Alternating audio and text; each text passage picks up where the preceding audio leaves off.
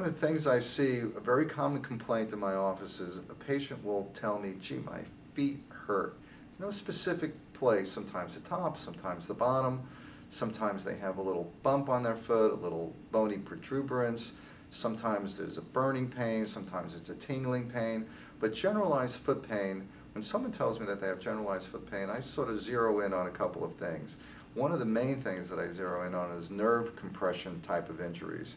The, the equivalent in the foot to a carpal tunnel syndrome that people have in their wrists and their hands, where they feel that tingling pain, even muscle weakness, the equivalent problem in the foot is called a tarsal tunnel syndrome, where there is a nerve compression right behind the ankle, and that nerve, when it's compressed, will cause all types of unusual sensations and pain.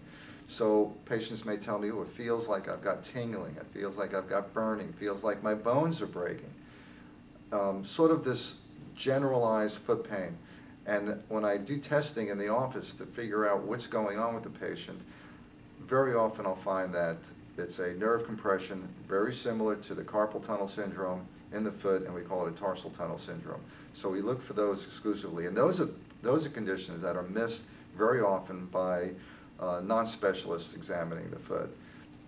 So one of the specific types of other nerve entrapments that we commonly see in the foot are patients that will describe pain across the ball of their foot or a little bit of numbness within the toe.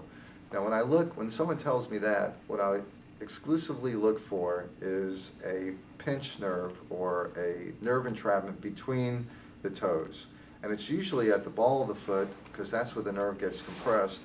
And by virtue of its extension into the toes, the toes start to tingle as well.